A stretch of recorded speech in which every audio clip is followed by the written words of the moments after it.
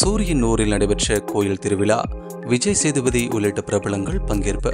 மதுரையில் நடிகர் சூரியன் சொந்த ஊரில் நடைபெற்ற கோயில் திருவிழாவில் நடிகர் விஜய் சேதுபதி உள்ளிட்ட பிரபலங்கள் கலந்து கொண்டனர். தமிழ் சினிமாவின் முன்னணி காமெடி நடிகர் சூரி இவர் வெண்ணிலா கபடி குழு என்ற படத்தில் நடித்ததன் மூலம் பரவலாக அறியப்பட்டார். அதன் பின்னர் ஜில்லா சாமி டூ வருத்தப்படாத வாலிபர் சங்கம் ரஜினி முருகன் உள்ளிட்ட பல படங்களில் நடித்தார். பின் வெற்றிமாறன் இயக்கத்தில் விடுதலை என்ற படத்தில் சூரி ஹீரோவாக நடித்தார். இப்படத்தில் வில்லனாக விஜய் சேதுபதி நடித்திருந்தார்.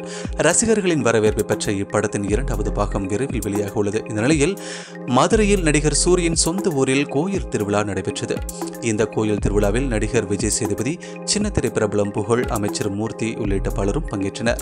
வணக்கம்.